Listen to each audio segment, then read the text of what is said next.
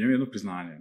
Ovaj, kada sam te, ono, upoznao prvi put, I ima to možda čak, nema 10 imena, 7-8 godina, ovaj, došli si neki sastanak sa Čedomirovićem. I ja sam bio u ko je ova balvančina, brate, koji je, koji je Nemanja doveo, a, samo, ali to je onako instinktivno, znaš, nije kao promišljeno, nego, zato što tako, tako krupan, ono, ok, sad se smeješ jer pričamo, ali faca ti bila on, ono, totalno, brate, bez izražaja, sam jel to je nekog da me bije, šta je ovo? ovaj, ali onda kako smo krenuli da se družimo i da radimo, sam skapirao da si zapravo, ono, ekstremno inteligentan i sposoban. Ovaj, interesantno kako tako, ono, ovaj, izgled ume da, da zavara. Ovaj, se desilo to sa još nekim? Jeste. Po jednoj firmi su mislili da sam obezbeđenje koje se pretvara da programira, sam bio dve, tri kancelarije udaljeno od direktorke. I u okay. toj firmi su radili istraživački novinari, koji Aha. su zapravo mene gledali da ja zapravo kucam na toj tastaturi ili ne. Znači, tako da nisi prvi koji to mislio. Dosta ljudi misli da sam ono neko obezbeđenje ili tako nešto, ono. A ti sam normalan programer, ono, stvari. Normalan. Ovaj, a, kako, si, kako si došao do, do toga da budeš u programiranju? Šta te, Pa ja sam celoživotno voleo nešto vezano za inženjerstvo, ono, struja mm. i pravio tako neke stvari. I sećam se radio u jednoj firmi gde sam bio administrator. Mm. I mhm. dobio sam zahtev od direktorke da nađem neko ko će da napravi dva sajta za firmu. Mm. I u tom momentu ja krenem da tražim i dobijem ponude za sajtove i dok sam tražio ponude, dobijem ponudu postani programer. Okay. Privatne škola. I ja u glavi, ono moj prvi preduzetnički onako momenti su krenuli tada da se ispoljavaju i ja odem kod direktorke i kažem je otprilike platiš mene da naučim da budem programer, za mnogo manje para ja ti napravim sve sajtove. I tako ja postanem programer. Tako da mi je ona faktički platila kurs, mm -hmm. sa mhm. koji kad sam ja završio napravio njoj sijaset sajtova i onda sam tu ono prepoznao neku novu vrstu interesovanja i ljubavi i nastavio da se edukujem u tom pravcu. Ali je tako krenulo. Kombinacija. Car, da, carica, ne, on ne, ne bi svaki ovaj, rukovodilac tako ono, odreagovao. Ne, ne. Ovaj, je, znaš što mi je bilo interesantno?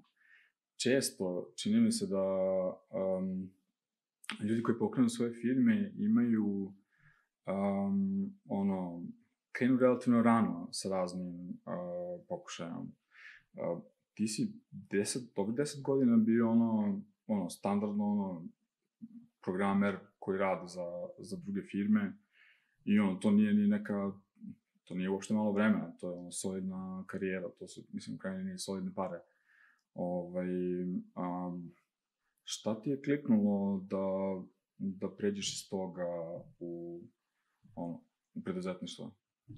Pa ja se bavio preduzetništvom mnogo, mnogo ranije. Samo u mhm. nekim, mm. ono, manje uspešnim. Ono, moj prvi preduzetnički poduhvat je bila prodaja kokica na sportskim utakmicama, gde sam tra... ušao u varijantu da prodajem, krenuo da, da apliciram za dozvolu da kokice na Adi, na šetalištu i sve u tome. Tako da to sam radio sa nekih tipa 17 i nešto godina, 18. sam skapirao kao wow, ja mogu da imam nešto svoje i da to nešto proizvodi. Nakon toga ja sam nastavio, konstantno sam nešto pravio, ja sam imao svoj mini klub, kafić kao takav. Organ, da, organizovali smo žurke po Bosni, bio, pokušao sam da pravim muziku, pa sam skapirao da mogu samo da uživam muzici, ali ne da je pravim. To, pa sam, okay. Pa sam vam organizovao žurke pod ove, pa smo pravili neke razne neke događaje tog tipa. Tako da sam se uvek negde vrteo u tom nekom pravcu, ja nešto pravim, ja nešto kreiram. Mm. Zato meni programiranje toliko dobro leglo, zato što sam mogao nešto da stvara. Da. Ali paralelno sa programiranjem, upravo taj Čedomirović koga ga spominješ, je Pozdrav, ne... Pozdrav za Čedim. Da, definitivno. I Milan Popović, koji istog puta pozdravljam, a, Milan je zadužen za PHP Srbiju i kada me ugura u to udruženje i rekao mi dođi ovdje nešto, možeš pored programiranja da praviš. I tada su krenule konferencije. Da. Tako dok sam se ja bavio programiranjem, ja se bavio organizacijom konferencije, eventa, tako da je tu uvek tu bilo nečega, nečega ono preduzetničkog u toj celoj varijanti. Nikad to nije bilo od 9 do 5, uradiš da. što ti neko kaže i ti se okreneš i odeš. Da, da. E, PHP se bio radio neke nevrovatne stvari. Jeste. Ovaj, mislim, ono, ajde, između ostalog, doveli ste lika koji napravio jezik, ono, da. ovaj, a, u Srbiju. Ovaj, I okej, okay, šta je, šta je prva stvar koju, koju pokrećeš nakon što ono, daješ otkaz ovaj, u firmi kao programer? Pa pazi, ja kada odlazim iz neke firme već znam gde ću da idem. Znači, to je već ono, mesecima unapred isplanirano, ajde možda preterujem možda mesecima, ali prvog momenta kad skapiram da mi nešto ne valja, krenem da menjam. Čim ja krenem da menjam, ja krećem da tražim alternative. I uvek imam ono plan B. Tako da kako se približava kraj, tako sam ja već negde došao do nekog rešenja gde ću da odem. Tako da i kad dam otkaz, uvek odem na neki normalan način, znači nikad ne ono, ne uništim ništa iza sebe, mm -hmm. nađem drugu firmu i sam ono pređem iz tačke A u tačku B. Ovaj, a, ti si, kako se zove, gla, glavna stvar koju, koju radiš, ko, koje sam hteo da pričamo, je Think Big. Ovaj, firma koja se bavi ono, suštinski servisnim ono, pružanjem usluga za razvoj da. tehnologije, tehnologije jeli? Ovaj, a, ako sam te dobro shvatio, ono, niste bili ono, baš potpuno imuni na, a, na ovu krizu. Ovaj, čini mi se da u nekom trenutku ima ono 30 ljudi koji su onako to je cela firma koja je visila o koncu. Jeste, mi ovaj, imamo, mi imamo 30, za sada nismo nikog otpuštali. Posledice jesmo imali jer smo povukli sva moguće sredstva koje smo imali, sav mogući profit, štekove, sve backupe koje smo imali, ne bili se čuvali ne bili se čuvali kolektiv. To se izdešavalo tip sad, skoro, letos, ono, mm -hmm. gde smo mislili, ok, ono, dan pre toga smo komentarisali bukvalno wow, Znaš, mm -hmm. nije raslo ništa, ali nije ni padalo, kao mm -hmm. imamo velikog klijenta. Iako se imamo među vremenu. Jeste, jeste, iako se sve i svašta dešava, mi imamo velikog partnera u Kanadi s kojima radimo, kojim smo u neku vrsti partnerskog odnosa mm -hmm. i kao raste, super, stoji, stagniram. I sam u jednom momentu sastanak, ono kao, moramo da sečemo sve. I u tom momentu ta borba naša da sačuvamo tim je traji dan danas. Ne znam da li ćemo uspeti, ali za sada, kako zove, su vrlo izvesno da hoćemo. Je sad, šta nosi sutra, prekosutra. Bukvalno nam je sve ono, ono on daily basis, što bi rekli. Čekaj, ti 30 ljudi bilo za, za jednu klijenta? Jeste. Jeste. Taj klijent jest. isekao sve? A, nije smanjuje. On je koliko, smanjio. Koliko smanjuje? Pa, početno je krenuo da smanjuje, početna cifra je bila tipa 60-70% ljudi. Da se skine? Da se skine sa retainera, ono as is from tomorrow. Da. Wow. I onda je bilo u fazonu, ah, as is from tomorrow ne može tako. To ne funkcioniše na taj način.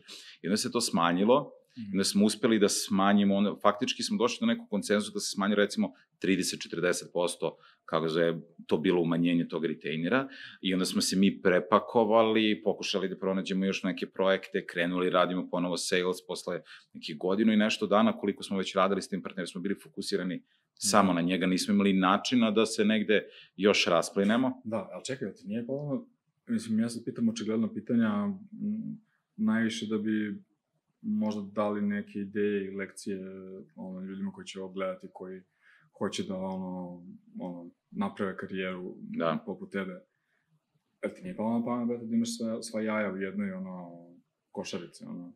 Mislim, lako biti generalno posle da. bitke, ali, ali ono, Zvuči da je to bilo nekako ono, sistemski rizično, već samo po sebi. Jeste, ali to je toliko veliki partner, toliko velika priča, toliko krupna i zahtevna varijanta da sam pokušao nešto sa strane još da radim, ne bi uspio da deliverujemo što smo radili.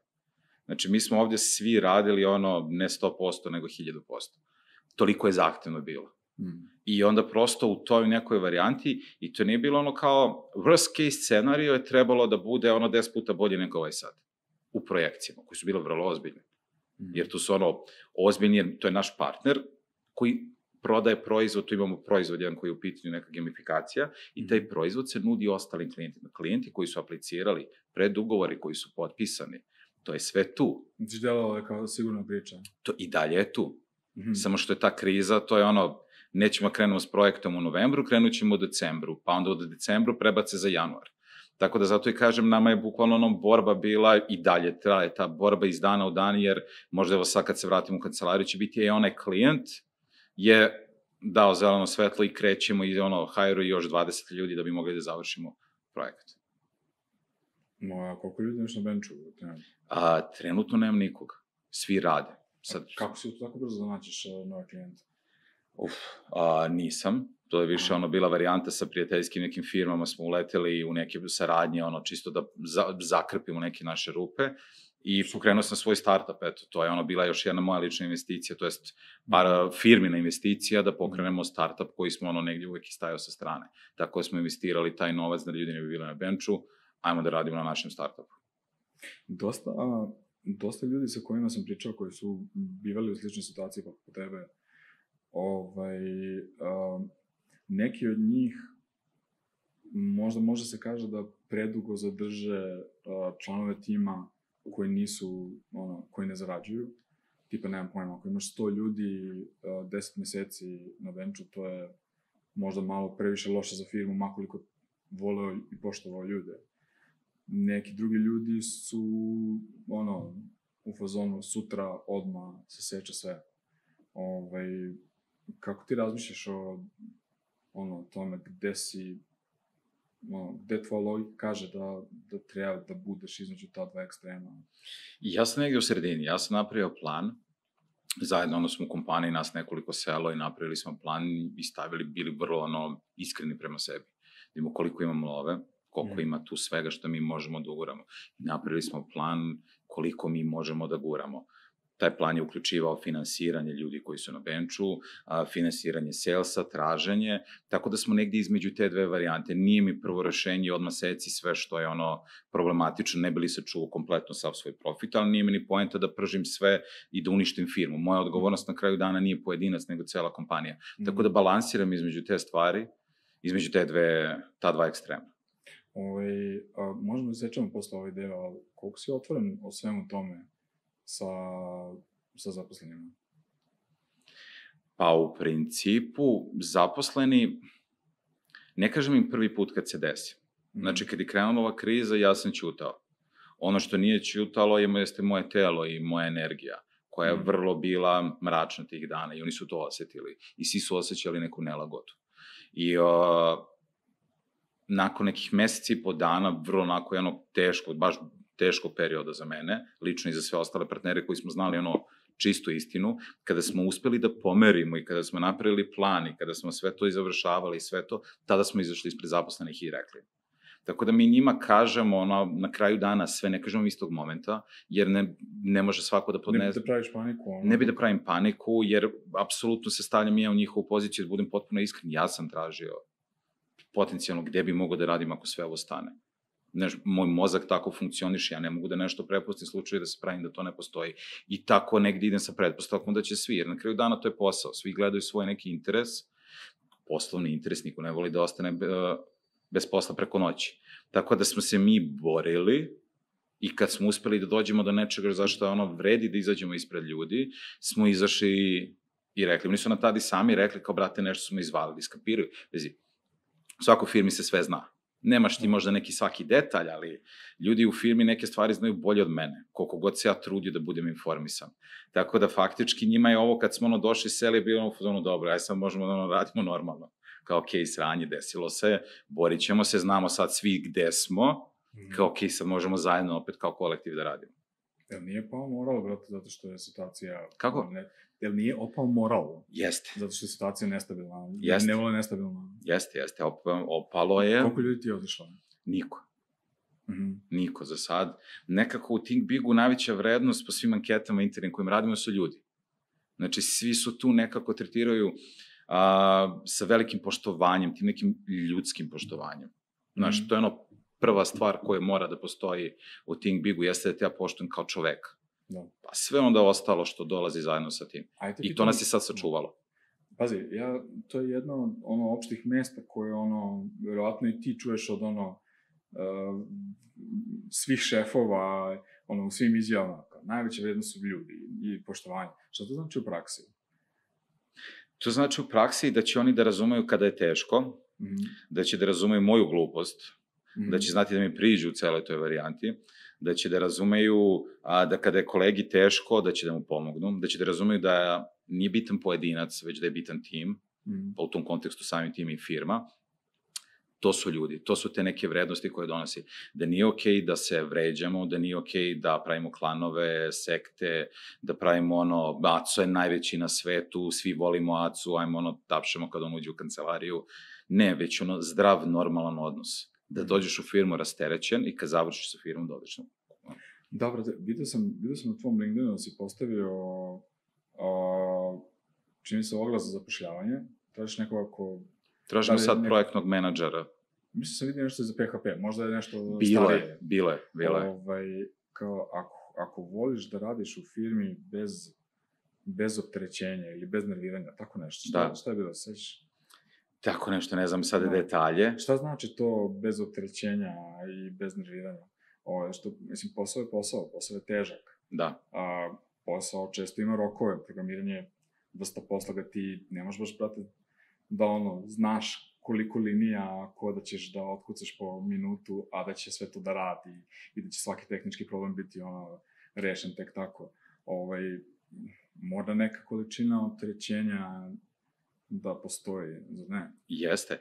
Ali ja to ne vidim kao težinu na poslu. To je tvoja ekspertiza.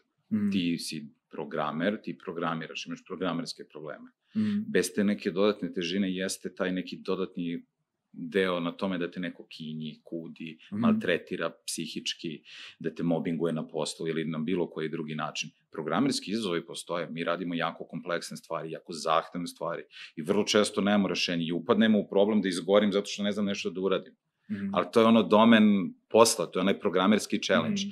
Imamo nekad lošu organizaciju na samom projektu, pa se iznerviramo što nismo primenili metodologiju 1, što ti nisi napisao task ili što je ovaj napisan task ovako, ali to mi je sve vezano onako kao poslovni izazov koji je Mm, uvek mm. striktno u radnom vremenu, gde se poštuju i vikendi, i slobodni dani, veliki broj ljudi u Think Bigu ima malu decu, znači mi imamo, Mm. radimo, ne mogu kažem da radimo samo hibridni model, mi radimo hibridni model na nivou dana. Ti dođeš u firmu kad ostaviš klince u vrtić ili školu, onda izađeš u 1, 2, pokupiš klinci i onda nastaviš da radiš od kuće. Tako da imamo jako razumevanja za sve te stvari i onda ljudi to isto, kako zove, onda ti je to taj neki nivo. Teško mi je u domenu projekta, kad imam challenge, kad nema onoga samo šljakaš. Ali sve ove ostale stvari kad isključiš, su normalne. A kako si došao do tako, ono, mislim, zen modela, ono, jesi bio u nekim firmama da su te, te maltretirali? Da. ok. da, ovaj, zapravo jesam. Ovaj, bio sam u različitim firmama, Da. dugo godina radim. Ja sam počeo inače da radim sa 15 godina sticam okolnosti. Prvi moj posao je bio sa Da, 15 ovo za kukice me stvarno oduševilo. da. Ovaj, prvi sa 15 godina sam radio, moj čale mi ono, bio vozač autobusa i konduktor mu se razboleo. To su bile one privatne karte, ako se... Sećam se, brate, da. Čale bio u fazonu, vraća se kući, kao, brate, ne mogu da radim. Rekao, zašto ne možeš da radiš? Pa kao, nemam konduktera. Rekao, evo ja ću, pa kao nisi prodavao, pa rekao, dobro, znam da vratim kusur. Ono. Da, da. Tako da sam, ono, počeo na taj način i svašta sam prošao. Zapravo sam prošao mobbingovanje na poslu. I ja ovoliki, neko mene može da maltretira čisto, eto, zato što sam toliki. Tako da i prva stvar koju smo i kad smo kretali Nemanja i ja da pravimo grović je bila varijanta ne može niko da se maltretira. Oko posla, tu ćemo se raspravljamo danima, ko, šta, kako da rešimo. Mimo posla, ne. I to se isto prenelo i na Think Big isto ovdje. Znači, to je negde moj uslov. Ja ne mogu da radim, ja sam jako emotivna osoba ja ne mogu da radim nešto što ne volim. Ja ne mogu da radim sa ljudima koje ne volim. Tako da kod mene to prosto mora da bude sve u liniji. Dešavalo se, imali smo mi kolege koji su neki otišli i sve to, ali nikad nismo imali inci, neke probleme, incidente ili tako nešto, ono kao gore i sve. Zdravo.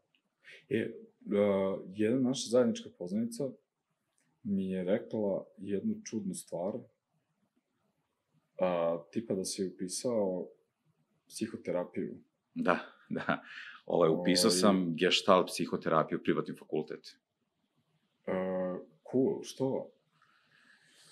Mm, moja supruga je u tim vodama za njih, ono, mnogo dugo ona se bavi i negdje moja šala bila interna, ja ću ovo da upišem zbog samoodbrane, naučim ono bolje, jer ja sam konstantno na nekoj, ono, neko me gleda, sve, celo njeno okruženje, kada uzmem vodu, aha, tu vodu si uzeo zbog toga, rekao, ne, uzeo sam i samo, eto, ono, da, nekad nemam dubinu obrade svega, Mislim, šalim se naravno, Da. ali ja sam sebe, ja imam dva metra. Mislim, tetoviran se, bavio se dugo godina borilačkim sportovima, ima ta grubost u meni, zna da se primeti.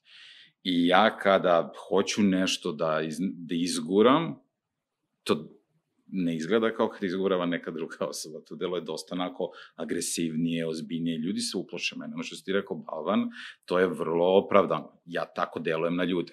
I onda sam Samo, prosto... samo prvi. Da, duša, Ja, sam, ja dosta godina radim na brušenju tih svojih ivica da ne bi prosto to bilo ono, kako zove, u komunikaciji, kasnije u radu. Psihoterapija tu jako pomaže, moj privatno, ono, kad idem kako psihoterapeuta, dosta sam radio na tim stvarima, da skinem, da, da, da znam bolje da komuniciram i da čujem ljude, Da. a drugo, upravljanje kompanije, ti na neki način konstantno slušaš neče tu, tuđe sudbine, priče, privatni život utiče na poslovnima, koliko mi hteli da ga izolujemo. Razumeti da je kolegi teško i ne, pritiska, ne, pri, ne pritisnuti ga sa nekim obavezama, znati da mu priđeš sa druge strane, nekad može da reši problem, ono, mnogo veći i mnogo krupniji. Tako da sam se onda prosto uputio da to naučim na neki drugačiji način.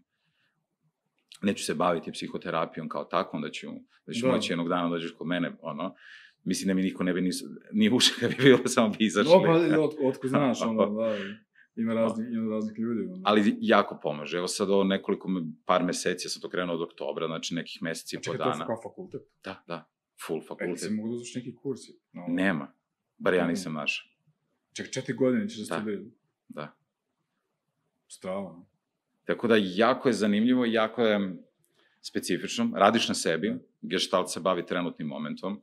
Sad, ja nisam iz medicine, ja sam to sve ovo slušao sa strane, ja nemam terminologiju.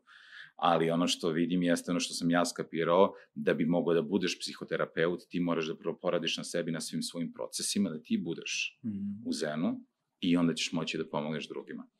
Meni je psihoterapija svoje vremeno, ono, promeni, ono, poboljšala život, ono, bukvalno 100 x, ono.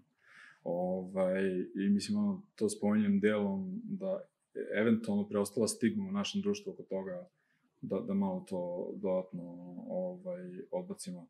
A, a ti si spomenuo sada da, da ideš i, jedan kolega, naš preduzetnik mi isto pričao, a, pomoglo to u poslu, posao bio deo razloga što si Da. išao? Da. Ove, jel bi, jel bi bio voljen da podeliš nešto oko toga? Mislim, nepristojno da te pitam, ali, Da. ali moj, moj posao kao ono, intervjuera da pitam tvoj, na tebi da kažeš ono, ne. Da. Ovaj, uh, Između ostalog, ra- između, Između ostalog što ostalog, te da. pitam, a, čini mi se da dosta naših kolega bi moglo da benefituje od toga. Pa možda, Razumem. možda da ih inspirišemo. ja imam recimo nešto što radim na sebi godinama, što sam jako ublažio Mhm. i smanjio, ali ne onoliko koliko bi ja hteo. Mhm. A to je impulsivnost. Moja impulsivnost, to je afektivni moment, kako su mi rekli da se to zove, a, proističe iz nemoći. Iz moje nemoći da obradim neku situaciju. Ti sad recimo, ako bi krenuo da mi postavljaš pitanje za pitanje za pitanje za pitanjem, u nekom momentu bi ti mene doveo u stanje nekomfora, nelagode, gde ja ne bi mogao ti kažem, ne Vukačin, ja ne želim da s tom dalje razgovaram na tu temu, ili ne, ja ću sad da izađem iz ovog intervjua, već bi krenuo da Da napadam. me lemaš. Ne bi da levam, ali bi povisio ton, Da. da. ušao bi u raspravu, krenuo bi ja s tobom da se nadjačavam. I to je taj odraz nemoći. Da zapravo uvidiš pravi problem, da, da se otvoriš i da kažeš ne, meni nije prijatno. Ja to ne osjećam, meni sad ti praviš nelagodu sa takvim pitanjem i to se primenilo na poslu. Meni je na poslu, Kako, kako se primjenjamo posle, brate? iznerviram se da povisim ton, posveđam se sa kolegom, po, znaš, krenem da se derem. Ja sam u Think Bigu, da sam ja bar svesan, dva puta to uradio. Da sam ono, na, ja najveći, najstrašniji. Oba puta su se desila zato što sam bio doveden u takvu situaciju i zato što nisam znao da reagujem adekvatno, što nisam znao da se zapravo otvorim. Znaš, to je moj podsvesni strah da budem i da kažem, vidi, brate, znači, ono, sjebao si me, nije mi okej. Okay. Loše si uradio prema meni, znači, ono, da pustim suzu ako treba. Znaš, nego, znaš, ono, opakuješ se, uđeš u onaj mod, i ja ću sa tebi. Tako da, taj moment sam primetio i kod drugih ljudi. Znaš, ono, čuo si, napad je najbolja odbrana. Zapravo nije. Zapravo tad, ono, zamaskiraš sve i dosta puta, i recimo tako da, recimo, eto, to je jedna stvar koju ja često vidim i kod drugih ljudi. Neko će to da uradi kroz povišen ton, Neko će to da uradi kroz duhovitost, jako ćeš vidjeti često sarkastične ljude koji kao trolovanje je cool, u stvari bio realan u potpunosti svemu ono što ti je rekao. Tako da, kada zove, ljudi na različite mehanizme prikrivaju svoju nemoć i svoju nelagodu da se, i da zapravo osveste pravi problem, a to je da ono, meni je nekomfortno da pričam, da ti odgovorim na to pitanje.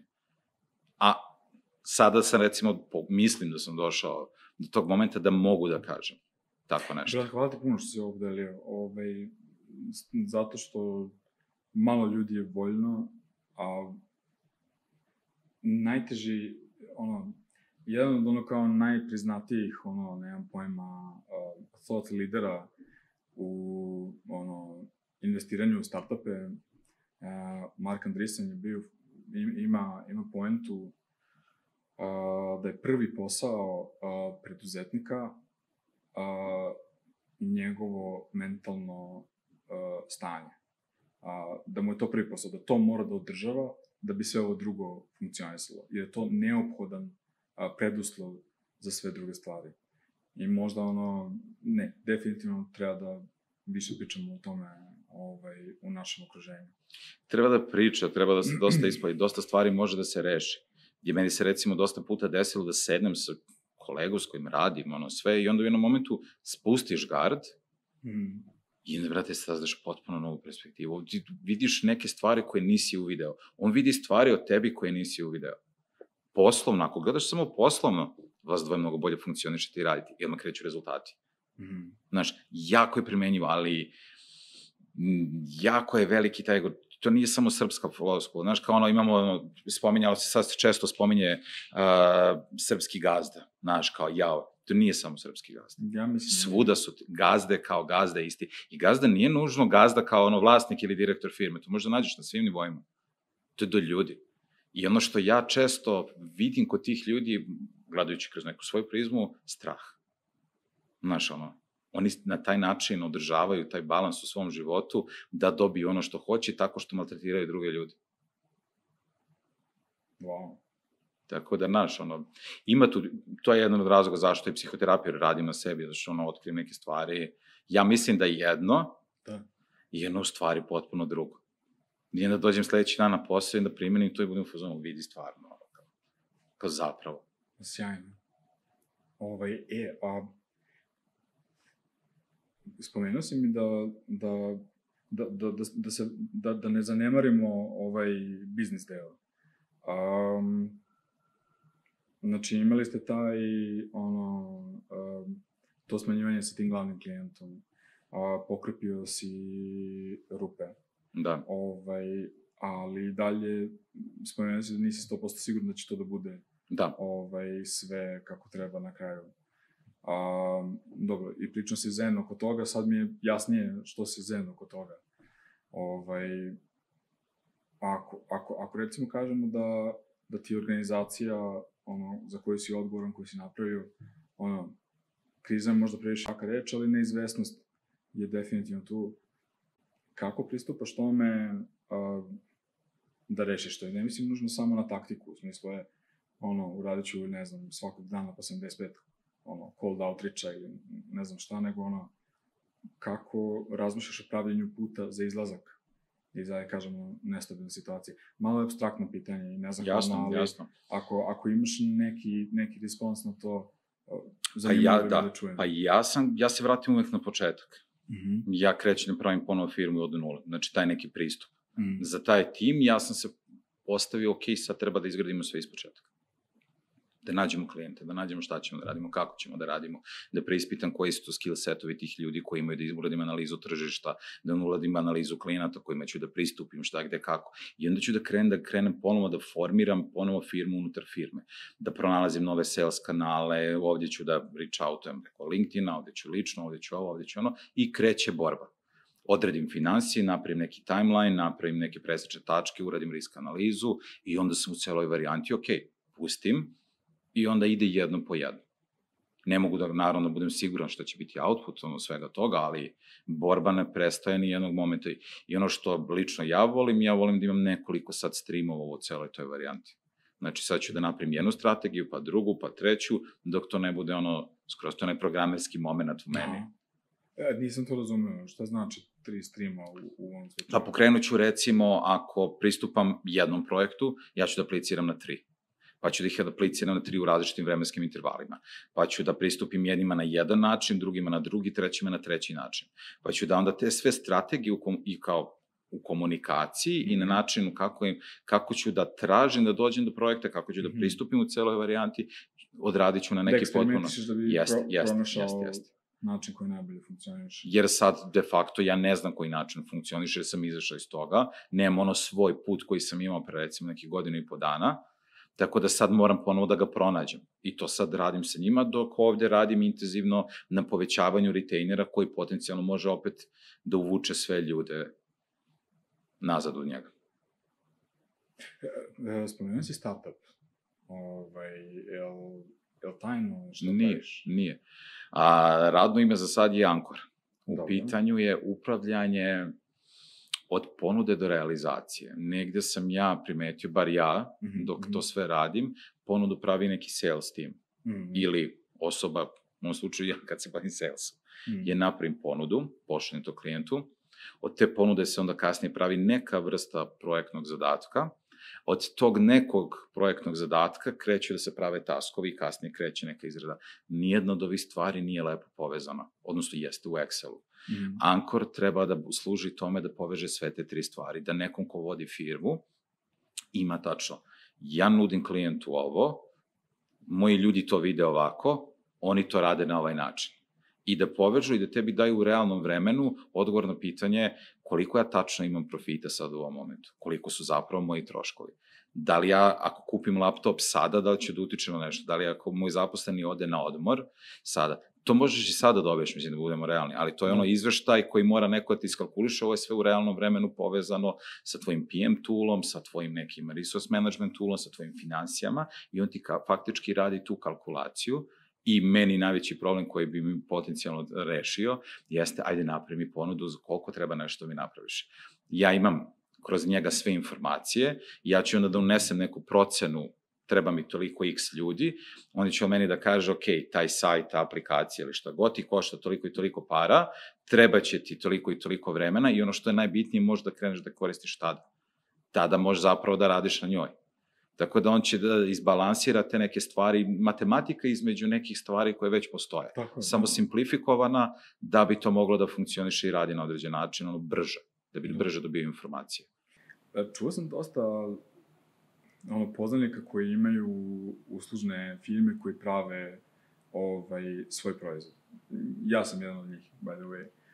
A, baš malo ko uspe. Da.